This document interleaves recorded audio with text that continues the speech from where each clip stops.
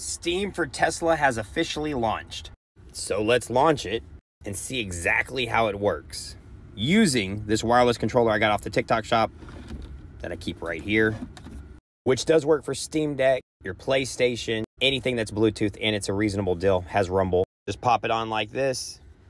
I've already synced it to the car, so we are ready to go.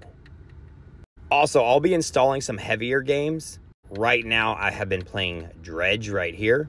Think about this Steam is in a Tesla, and it says, hey, Steam is running Texas Steam has stopped games. Press the brake pedal or swipe down from the top. First off, the sound is absolutely amazing. So I've already installed it, connecting to how I play. So obviously everything works just like normal. Steam is running, you have your volume here, and the volume is absolutely amazing, especially in a car with surround sound. And I will download a more powerful game, but just check this out. I mean, just, just